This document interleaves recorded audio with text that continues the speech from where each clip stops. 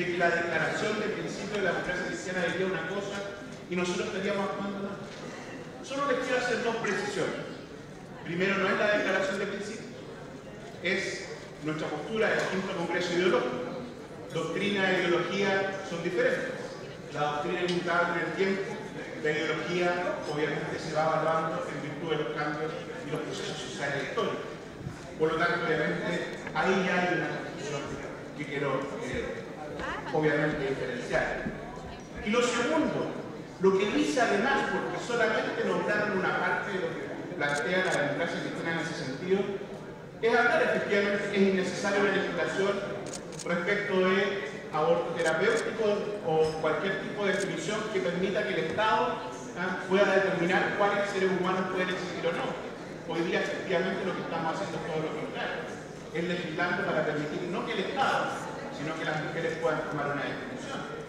Y además esa misma acápite del quinto Congreso Ideológico dice propiciar la existencia de mecanismos de discernimiento para resolver casos excepcionales y complejos que se presenten desde el punto de vista médico. Qué conveniente es solamente decir una parte de la verdad, una parte de la realidad, porque hoy día quienes hemos apoyado este proyecto nos sustentamos precisamente en aquello. Pero además quiero dar ejemplos, incluso de la vertiente del pensamiento cristiano, que nada tiene que ver con religión, sino con teología moral. Fíjense lo que dice Tomás de Aquino. Tomás de Aquino.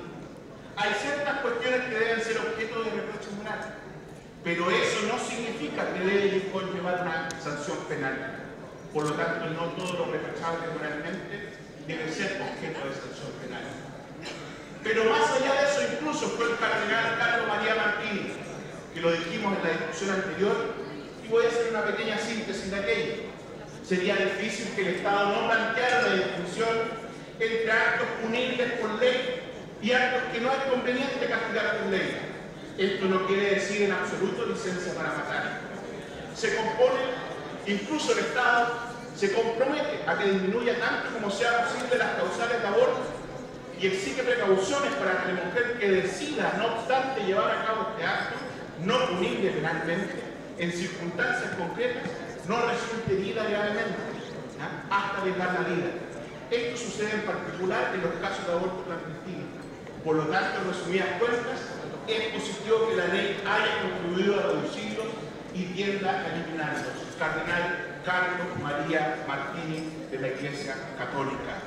Entonces, cuando a mí me dicen que el acercamiento a este proyecto es precisamente desde una mirada de la clásica discusión pro-choice, pro-life, donde desconocemos primero, obviamente, el principio de la vida digna, e incluso en el caso de aquellos que nos han, a nosotros, eh, eh, traspasado una suerte de responsabilidad en torno a una deslealtad de nuestros principios, que desconocen lo que significa la vida trascendente, porque solo están defendiendo hoy día la simple vida material que desde la perspectiva de la teología moral católica es mucho más eh, mucho más, eh, digamos, importante la vida trascendente.